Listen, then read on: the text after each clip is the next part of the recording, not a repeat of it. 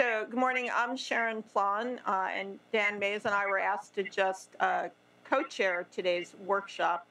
This is an exciting day, and we're looking at uh, the work of the eMERGE Network and what one can prophesize can go on beyond this. And really, in particular, the focus is going to be the future of genomics as it relates to research and uh, clinical work using the electronic medical record. Uh, so Dan is going to chair the morning session and keeping everyone on time, and then I'll do some introductory things about how we're going to handle the panels. Okay, so without without further ado, um, to keep our very compact agenda uh, on time, the opening session is uh, essentially to establish the context for the more detailed panels that will follow, and there's uh, no better context setter than the director of the, of the Genome Institute, uh, Eric Green. You have the floor, Eric. Thank you. Yes, that is my job as context. I tend to. Uh, so, um, good morning, everyone. And um, I did have nothing to do with the early start, but we do recognize we are trying to accomplish a lot in a day, and I think that was part of the rationale. Um, uh, first thing I should say is uh, thank all of you for coming. As always, uh, I am just deeply grateful to people who are willing to uh, travel to Bethesda uh, from an invitation that comes from us to help strategize about something, and amazingly, the vast majority of people who we invite are willing to travel, which is oftentimes not that fun, to come sit in a windowless room such as this, where we uh, are um, hardly uh, feeding and taking good care of you or anything like that. Uh, so uh, we don't even provide you coffee.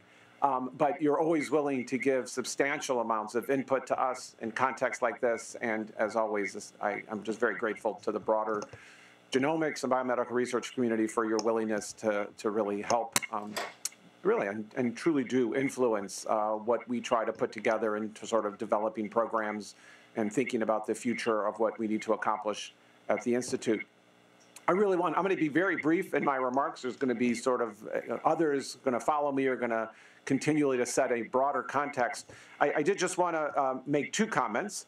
Um, um, one that uh, is just a, a, comment that, as you might imagine, uh, meetings like this, where we're looking at um, uh, specific elements of the extramural portfolio, really are part of a ongoing, constant effort uh, of strategic planning for our entire institute, but in this particular case, for our extramural portfolio. Uh, this very much feeds into broader discussions and broader strategic planning um, that is always ongoing at the Institute, but in particular, um, but without really giving too many details, I would just point out that currently the Institute's sort of strategic vision is, is sort of encapsulated in the strategic plan that we published in Nature in 2011. And 2011 in genomics time is a long time ago.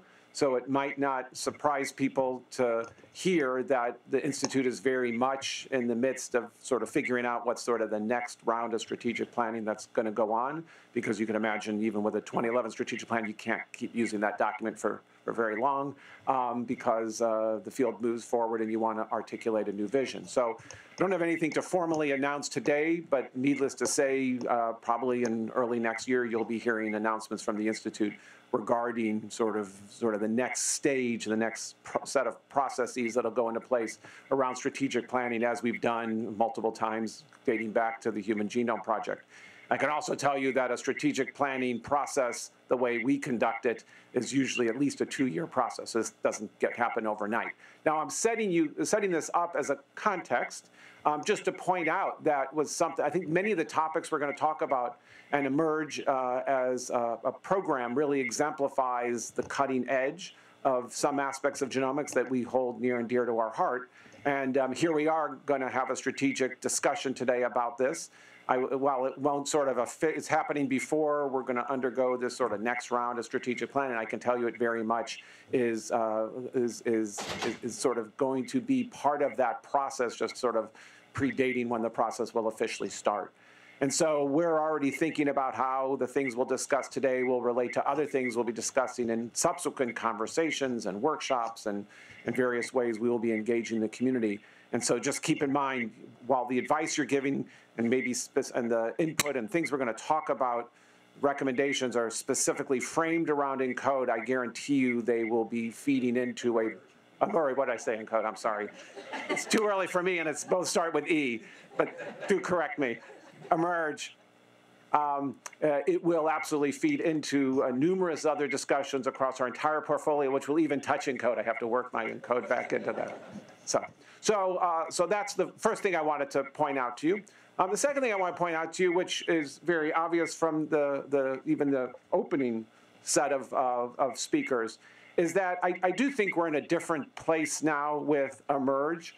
Um, uh, and thinking about what it is, uh, it is accomplishing, what its goals are, um, and and what other things are going on around it. And so I think, and I know we're going to talk about this today, which is one of the reasons why we're going to hear early on from people representing all of us and people representing the Million Veterans Program and so forth, because you know clearly the world's a different place now than even when the current round of eMERGE um, uh, began. And so what I'm going to be in particular looking for and, and, and wanting the discussion to make sure to include is sort of thinking forward for this kind of research activity that NHGRI is doing, how, how is that synergizing, interacting, augmenting, collaborating, use all those sorts of words um, with these other efforts. Because I, I think the, the, the, the strength of what we bring to the table is, is, is very clear in some ways, but we shouldn't be doing this alone and, in, and without taking into account uh, these other efforts, some of which are obviously of great importance to the NIH or to the United States, and, and, and in so many ways. Uh, I just want to think about what's the best use of our resources in that uh, in, this in this area, uh, and how best to, to situate that so that maximally benefiting all of the science being done by our efforts and these other efforts, and even some international efforts as well. So I, I that's one of the things I'm going to be looking for in particular. We recognize that that was a key part of this, which is why you're going to hear early presentations from at least two other important entities, that is all of us in Million Veterans Program. So with that, I think I'm going to turn this over to Rongling, who's going to now take over and just say a few more things in terms of opening remarks. Thank you. Yeah, thank you so much. Thank each of you. On behalf of the eMERGE team at NHGRI, we understand that today is a one-day meeting, but be- before today, you have done tremendous work to make this workshop to be successful and to be productive. Uh, we have four working group working on this issue two months be- before, and uh, also you discussed among each group. Now today is opening to everyone to talk about this four specific topics today. So I don't want to add too many things. Erica's appreciation to each of you. So I just want to make make sure that the emerge team, the whole team, appreciate all your work, your effort, your time. Thank you.